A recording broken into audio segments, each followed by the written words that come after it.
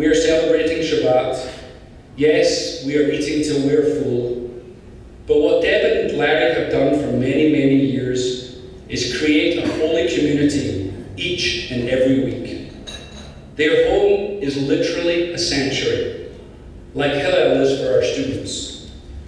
They welcome without condition, like Hillel does for our students. They feed our bodies and nourish our souls, just like Hillel does for our students.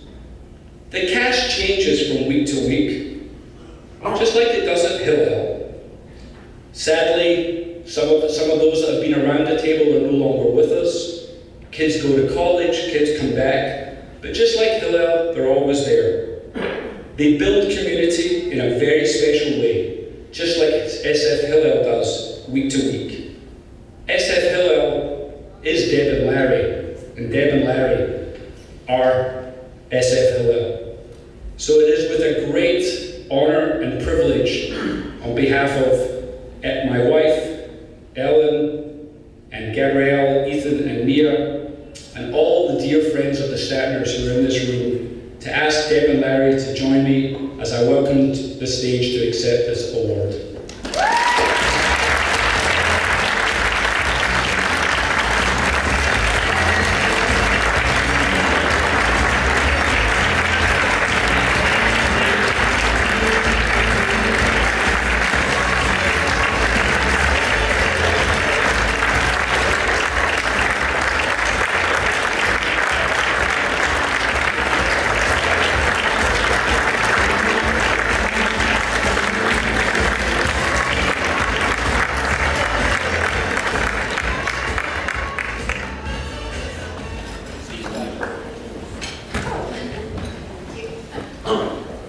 So, uh, make a note only. Next time Larry goes on, before the Scotsman. so, thank everybody for being here. Barry, thank you. You're just a great friend, and we love you. So, several years ago, at one of the aforementioned Shabbat dinners, Marc Dollinger asked if I would consider joining the Hillel board. Of course, I said no at first. But uncharacteristically, I agreed, and I agreed for a few reasons. First, uh, our two oldest children were attending college, and I began to see Hillel as an important bridge between the Jewish life at home and their Jewish life as adults. So that's the first reason I, I agreed. Second, I had attended SF State, go Gators. Third, historically, SF State has been a huge hotbed of anti-Semitism, uh, which is a huge hot button for me, like I know it is for everybody else here, but it, it's a big hot button, or one of the reasons I joined.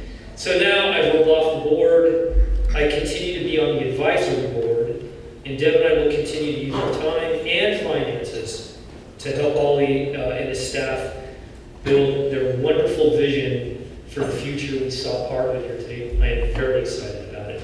And again, I want to thank everybody for coming in support of uh, Hillel and Deb and. I'm going to introduce my beautiful wife,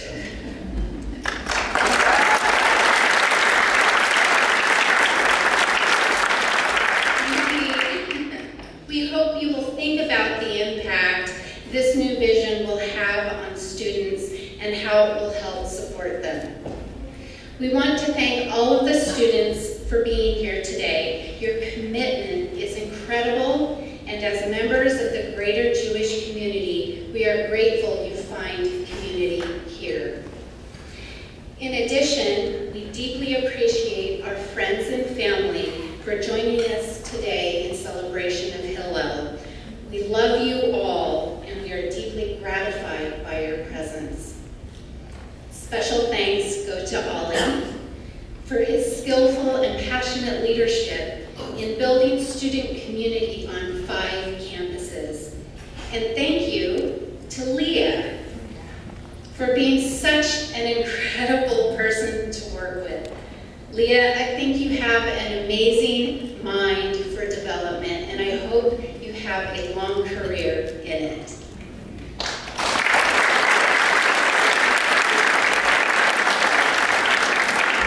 And of course, we are especially thankful for the chairs of this event, Nancy and Stephen Grand,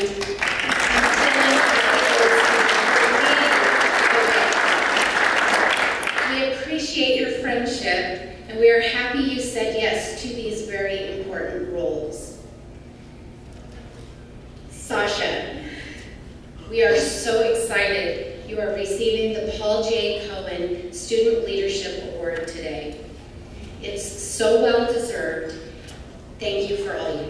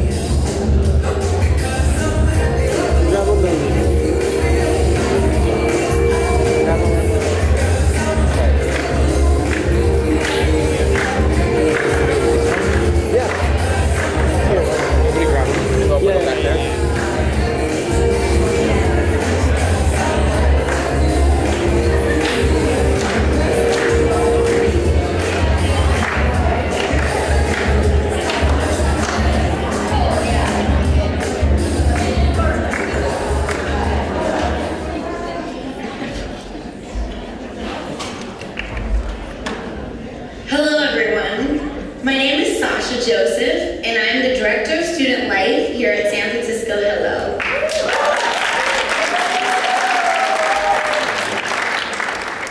I'm pleased to bestow our first ever Paul J. Cohen Award for Student Leadership to an amazing member of our community. Paul.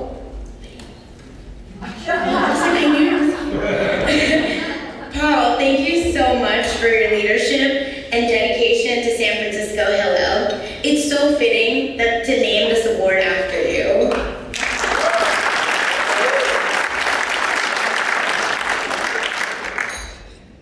Presenting this award to our student recipient is Professor Marc Dollinger, the Richard and Rhoda Goldman Chair in Jewish Studies and Social Responsibility at San Francisco State University. Unfortunately, Professor Dollinger could not be here with us today in person, but he had this message to share.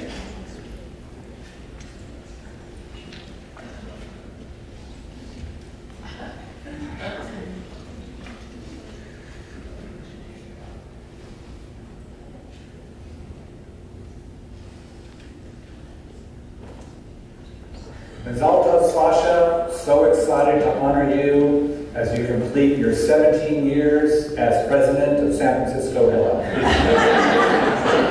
17 hours? It was uh, 18 months. 18 months? Oh, man. Yeah, those are a long year and a half. Sasha, as many of the leaders in the room with you today can attest, when you sign up to be president of a Jewish organization, you don't actually know what you signed up for until after your term starts. And then you see what life hands you. And what our university has handed you in the last year and a half has been some of the most intense and incredible challenges that any undergraduate could have faced. And to be honored with your leadership, with your vision, with your strength, and with your courage has been incredible. Faculty advisor for Hillel, as your professor, uh, and as your partner in leadership, uh, Mazel tov, congratulations to you. And I want you to know how fitting it is that you are the recipient of the first ever Paul Cohen uh, Leadership Award. Um, and when I arrived at SF State, remember years ago, Paul was the first one, the first community leader to approach me, to welcome me to San Francisco State, to Hillel, to the politics that we all engage, and to give me guidance. Um, so to see your name and his name uh, together for this honor is incredible. And of course, for me, um, to be honoring the staff as well, who are our dear friends. Um, my only regret, of course, is that I'm not there to celebrate with you and with everyone in the room. Um, as far as I can tell, uh, Marcy and I are somewhere off the coast of Cochin, India, as we speak. Please know that we're celebrating with you, and we're excited um, for, for all the honor that you're getting. You didn't ask for the leadership that you got. You received it. You stepped up so well. The undergraduates now at San Francisco State and the culture that you helped to create are going to be your legacy. Toda raba, thank you so much. And when I get back in town, you and any friends you have, we're going out for lunch.